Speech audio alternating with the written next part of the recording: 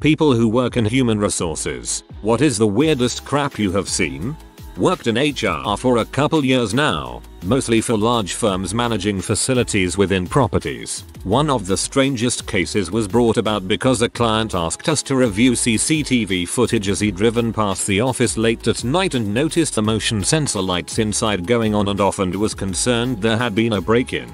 Turned out our night security officer whose primary role is to monitor cameras from the control room was skipping up and down the corridors cause he felt too full of energy and had to get it out of his system somehow. Watching the footage of him skipping featuring the occasional star jump through vacant corridors for 20 minutes at 1am really made my day. Got a call from our office in India that staff who supported the night shift were running a brothel from the office. They didn't know they couldn't do that. Still fired. They tried to appeal the decision. Did not work.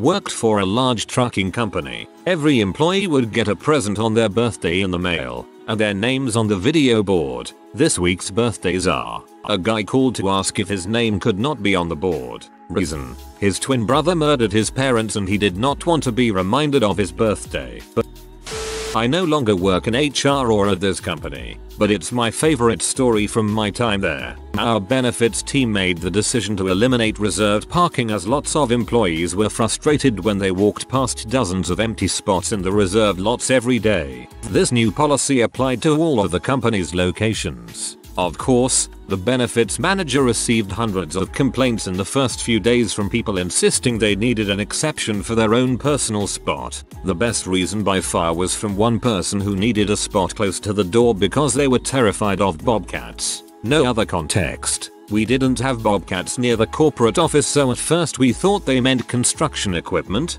Turns out there actually were sightings of bobcats, like the animal, near this person's location. Last I heard they were told to arrive earlier to get a closer spot and didn't get an exception.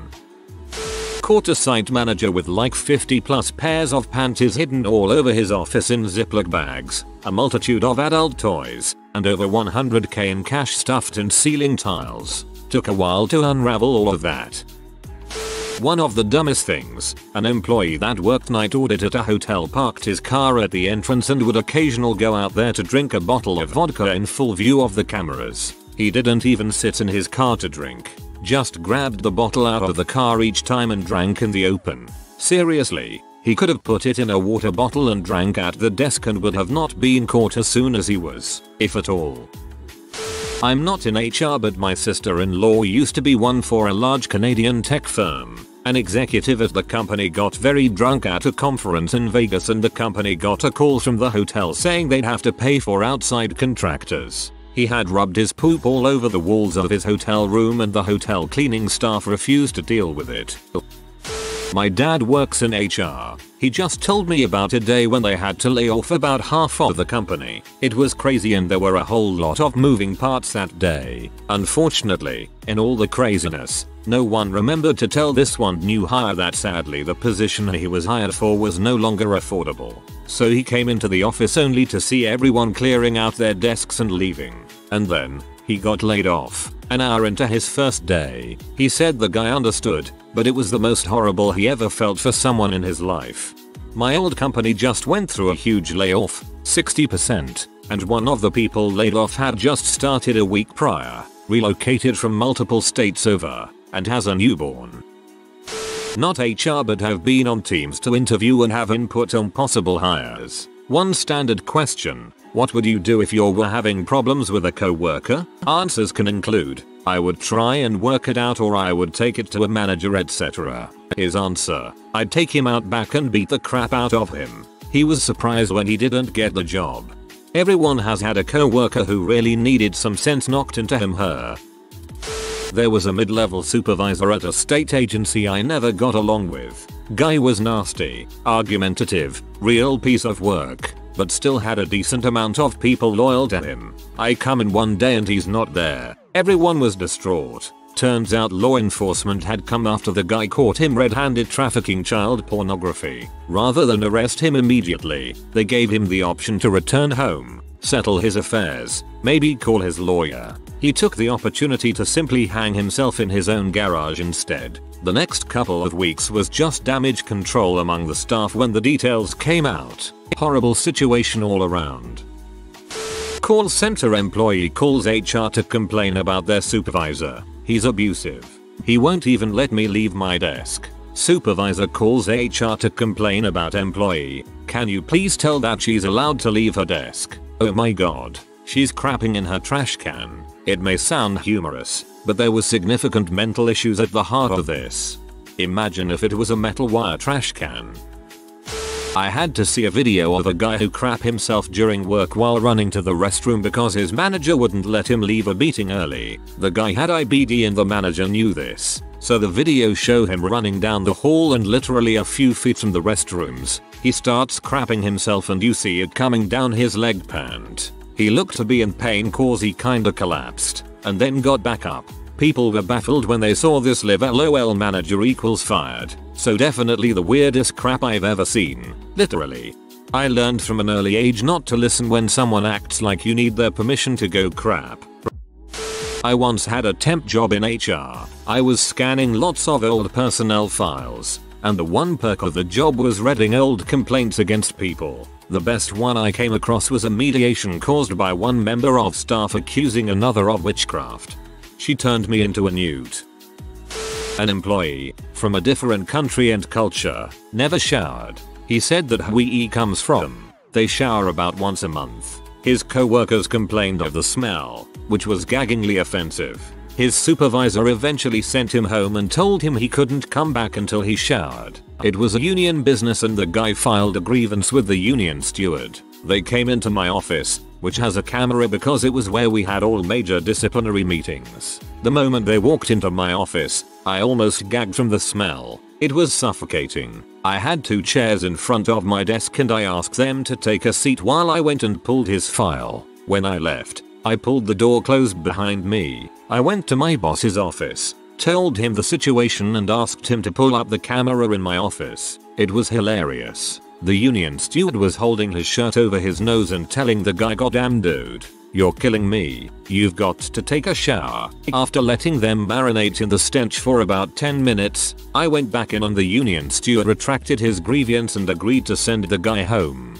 I was the supervisor who had to go and talk to a new guy about this issue once. He was a young guy who was the kid of a couple of AP journalists and they traveled a lot but he had spent the past 5 years in a third world country that had similar views on hygiene. He was mortified, promised to do better, and ended up a fantastic employee and eventually my best friend for years afterwards. I got a call from a woman I'd never spoken to, asking when she could start. She'd received a job offer after interviewing with a manager for a customer service position. She told me, but no one ever contacted her about a start date or pre-employment processes like a background check, and it had been a month. After a lengthy investigation, it came out that this manager had fabricated a job opening and offered it to this woman in an attempt to impress her. She quit her job, but, it should be noted, did not respond to the manager's romantic overtures. With the expectation of joining my company, she got a settlement with an NDA, and the guy who hired her got fired. There was also a guy who faked his son's death for some extra PTO. The maintenance guy had been living up above the ceiling of the building. He had built a little cubby living area with electricity and a small fridge and everything. For years. I used to work at a staffing agency that placed people at manufacturing positions. Everyone had to be drug tested at the office as part of the orientation. If the pickup came back as inconclusive, we'd send the potential hire to a medical lab. They would take another drug test and the lab could determine if the person was on a prescription or using illegal drugs, and therefore, not eligible for hire. So one guy failed his drug test at the lab. He came back to the office claiming that it wasn't his fault. He explained that he, was riding in a car and he stuck his head off the, the window. Then, when the car passed under a bridge, someone threw a bunch of sea off the bridge. It hit him in the face, and he accidentally inhaled it. I work for a software development consulting company where we go onto client sites and help them develop custom software. One dude, super nice, 7ish years of experience, goes on to his first client with the company and all is good for about 3 weeks. Until the following happened in increased escalation every couple of days. 1. I don't think the manager likes me. 2. The manager is bad mouthing me to others. 3. The manager isn't copying me in meetings, so I don't know they're happening and miss them. 4. The manager is taking away my completed tasks from the board, so I don't look like I am being productive. 5. The manager is logging onto my computer remotely and reading my personal emails. 6. The manager is changing my consulting company, not client, time cards, which the manager has absolutely no access to. Essentially it turned out that he had mental health challenges and thought the manager was sabotaging his every move on the client site. T paranoia just kept going. Unfortunately he got kind of belligerent at the end. I hope he got the help he needed, but it was super uncomfortable. How do you tell someone that their perception isn't reality? The family of the guy who passed away came to speak to us. It was in a factory environment. To get pension docs etc. We sent them away with a to-do list. One hour later reception pinged us saying Mr. X's family was here. Strange. The documents take a few days to get. Nope. New family. Yup. The guy had two different families. Who were about to have a fun surprise. Well, because both of them were nominated beneficiaries of his will, we had to call both of them in.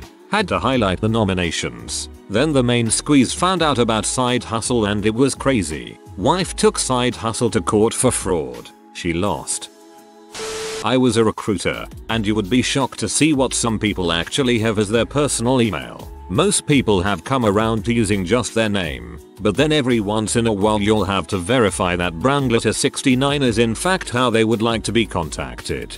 I am a teacher. There are a lot of angry parents who are still using their hotmail from high school like Studman 6969 and Super Zychik 16. OBV fake. Makes it hard to take them serious an IT guy who worked the overnight shift because he was doing support for our Asia Europe regions, got written up for improper use of company systems. He had dozens if not hundreds of Google image searches related to foot fetish stuff, like insert celebrity hair feet along with other random stuff like cute toes, etc. Like dude, you're in IT. You know this stuff is tracked and that your boss could easily monitor it. One of my relatives worked in tech support for a really high profile company in Silicon Valley during the height of the dot-com boom. Some guy who desperately wanted to work there was emailing his resume to HR 1000 times every day. Several times a day, the number of emails would get too overwhelming. So the people in HR would just select all the emails in the inbox and delete all of them. Whether the emails were from the applicant or not, my relative had to show them how to filter emails from the applicant. Guy came into the interview in sweatpants and a hoodie and said he didn't need the job because of how much money he was making illegally, but he wanted to have a job so the IRS didn't get suspicious. Weirdest part is I don't live in America. I very much doubt the IRS cares about Canadian tax returns. One of the candidates I was interviewing via Skype 1. Answered the phone while in his boxers and a tank top then stood up to grab his blazer that was probably about 3 feet away. I had to see him in his stretched out boxers. 2. Had a P site up and open during a shared screen trial to see how well he can use the digital classroom. I had to remind him I can see his screen he goes oh yeah sorry next instead of just closing it from the corner of his partially hidden window he clicks open the window in full view then closes it. That was nice. ETA. No. Guys he didn't get the job also I got an award for this. Thank you. Random citizen. Digital classroom. Don't tell me he was interviewing for a teaching position. Was working in HR at a call center in the early 2000s. Got a visit from the IT guys one day letting me know that a guy in quality control had been visiting P sites on his work computer. They gave me the report and I set up a meeting with him. So John, You've been visiting adult websites on the job. Well, you know how we do a lot of research. And, sometimes you just accidentally land one. It happens. John, you visited one particular site 27 times. Um, should I grab my things? Yup. After visiting P sites, it is only appropriate to grab one's things. Not HR but IT. We had a guy start and immediately start using his work computer to watch P. Now this immediately caused some alarms to go off in IT. So because it was my job to keep an eye on stuff like this I decided to do this guy a solid because it was his first day and physically go to his office and tell him he couldn't do that at work. Guy gets all kinds of P off at me and storms off to HR to lodge a complaint against me for trying to tell him how to do his job. Dude gets fired because he stormed into HR and told them how the IT guy was trying to tell him that he couldn't watch P in the privacy of his office. The new receptionist was coming in every morning and opening up programs documents to make it look like they were busy. And they'd sit with one hand on their mouse and one hand on their keyboard and stare blankly at their screen for 8 hours a day and not do anything. They'd also consistently pick up the phone and hang it up without saying anything so that it would stop ringing. I sat in on their termination, and the employees started screaming at the manager about how they were doing an amazing job, and they had to give them another chance. I was 100% confident that they were just trying to get some easy money and wouldn't be surprised that they were finally getting fired. The whole thing was just bizarre. Not exactly weird but I work in HR and we have two people with the exact same name but in different departments. This still causes confusion sometimes but the most awkward was last year at the Christmas party. We have this annual Employee of the Year award and the name was announced before mentioning the department or other info. Although I warned the MC not to do that, as we had two people with the same name. Let's just say the wrong one got the most excited until he realized it wasn't him. That's so unfortunate. While back, at a very sales focused company, can't go into too many details. The story got passed around the industry for a while and I'd rather it remain anonymous. It was crunch time for basically every department. Lots of orders, lots of money made but with a bunch of pressure to deliver on those orders. Tensions were a bit high, so we, HR, did a few things to raise morale and keep people happy. We had some lunches catered in, donut and coffee brought in for people. Just small things to bring the mood up. After a week or two of this kind of atmosphere in the office I get notified by one of the sales managers to hold a disciplinary meeting for one of sales guys who had been around for a few years. I knew this guy, call him Dave, but never really talked to him much. Seemed alright, not one of the ones I'd expect to be a troublemaker. What surprised me was that this meeting apparently also included one of the newer sales guys, Ben, out of college for maybe a year, and also not one of the ones I'd expect to cause trouble. Turns out Dave had been coping with the stress of the office by sneaking into empty conference rooms with his cell phone and enjoying some obscene videos IT said that since he did it on his own phone, they couldn't track it. Well Ben stumbles across him, which you'd think would just make an awkward moment and maybe a report to HR. But instead, maybe due to stress of his own, started loudly yelling at Dave to stop slacking off and started taking swings at him. This broke out into a fist fight in the room, which drew a crowd and ultimately broke some of our video conferencing equipment. After a minute someone managed to get the two of them apart, which calmed things down for about 10 seconds before someone made a joke about Dave throwing punches with the same hand he had been touching himself with, which somehow provoked Ben to lunge at him again and take another swing before being restrained. The weirdest part? After the meeting and like a week of internal discussion, during which both sales guys kept working to keep orders rolling in, we had to make a decision. Our department head had carefully gone over the rules and relevant laws, assault charges and things, and determined that Ben be terminated for assaulting an employee, but Dave not be fired and instead required to attend gender-based harassment training to keep his job. As a result, a week later, we had to send an office-wide email informing people that referring to the incident in vulgar terms, off the record, my favorite was Dave, you beat that kid like you were beating your meat and there, was technically grounds for warning under our gender-based harassment policies. I worked closely with HR in a call center. You'll get some crazy stuff. Guy that carried a cooler every day was wiping crap on random walls and desks. It was his crap in his cooler. We thought it was his lunch. He got caught when he wiped it on the front desk directly in sight of the camera. Another guy had a colostomy bag that he refused to empty when it got full. You would find these trails of liquid poo randomly and we had to throw out 4 chairs that he ruined. He was fired quickly and tried to claim discrimination because he was a veteran. You'd also get a crazy amount of period stains on chairs. Look, It happens, but when it's the same few people, and we have free sanitary supplies in the bathroom, you know they just don't care. Had to delete someone from the system following them being murdered. Was a bad day. Over the years I've deleted 7 deaths including the murder, 1 diddler and 1 murderer. I had to do that for a work colleague that died in his sleep. I'd spoken to him less than 2 hours before he died. It's a weird feeling.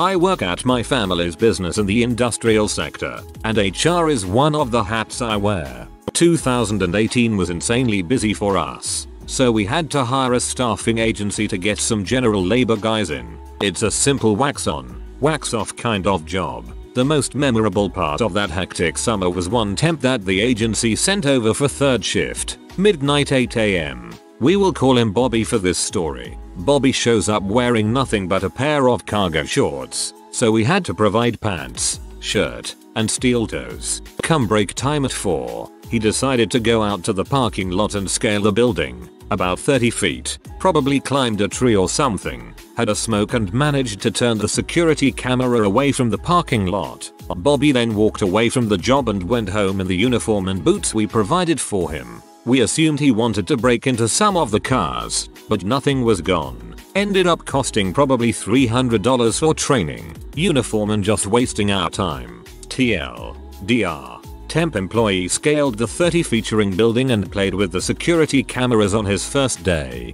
That's temp workers for you, especially general labor. We've had more than one show up drunk and or high on their first week.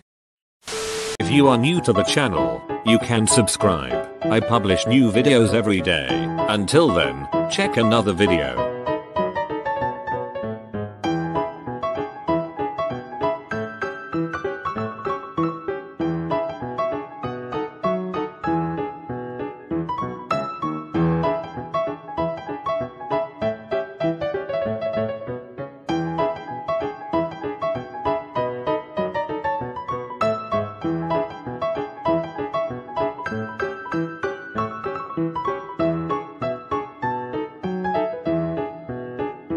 Bye for now.